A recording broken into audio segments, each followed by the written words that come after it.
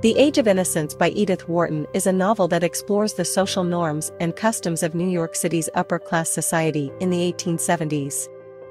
The novel follows the story of Newland Archer, a young lawyer from a prominent family who is engaged to May Welland, a member of the social elite.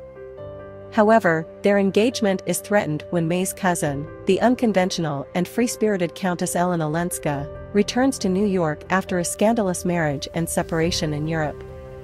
As Newland becomes increasingly drawn to Ellen, he is forced to confront the rigid social hierarchy and moral code of his society, which values conformity and stability over individual happiness and desire. Through the character of Newland, Wharton explores the themes of tradition, duty, and the conflict between the individual and society. The novel is set during a time of great change and upheaval in American society, with the rise of industrialization and the emergence of new social classes challenging the established order. Wharton portrays the world of the New York elite as a rigid and stifling environment, where personal freedom and individuality are suppressed in favor of conformity and adherence to social norms. At the center of the novel is the love triangle between Newland, May, and Ellen. May is presented as the embodiment of the ideal woman in New York society, pure, innocent, and obedient. Ellen, on the other hand, represents the threat of the unconventional and the unknown. Newland is torn between his love for Ellen and his sense of duty to May and his social class. Throughout the novel, Wharton explores the role of women in society and the limitations imposed on them by their gender.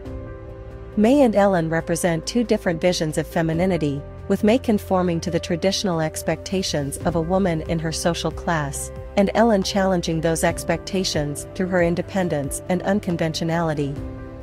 The Age of Innocence also portrays the social rituals and customs of the New York elite in great detail, from the elaborate dinner parties and balls to the strict rules of courtship and engagement. These rituals are presented as both beautiful and oppressive, reflecting the contradictory nature of New York society. One of the most striking aspects of the novel is the way in which Wharton uses the setting of New York City to underscore the themes of the novel. The city is presented as a symbol of both progress and decay, with the old mansions and elegant ballrooms of the upper class juxtaposed with the crowded streets and tenements of the working class.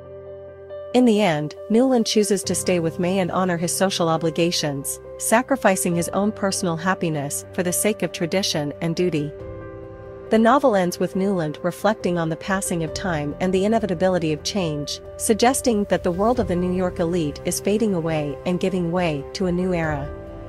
Overall, The Age of Innocence is a masterful exploration of the tensions between individual desire and societal expectation, tradition and change, and the limitations imposed on individuals by their social class and gender. Wharton's vivid descriptions of New York City and its elite society bring the world of the novel to life, and her nuanced portrayal of the characters and their relationships makes the novel a timeless classic of American literature. We hope you are enjoying the content on the Library channel. Our team is dedicated to bringing you the best book summary, recommendations, and literary discussions on YouTube. If you are finding our content helpful, we would greatly appreciate it if you could take a moment to like this video, leave a comment with your thoughts or suggestions, and subscribe to our channel. This will help us grow and continue to provide you with more great content in the future. Thank you for your support and happy reading.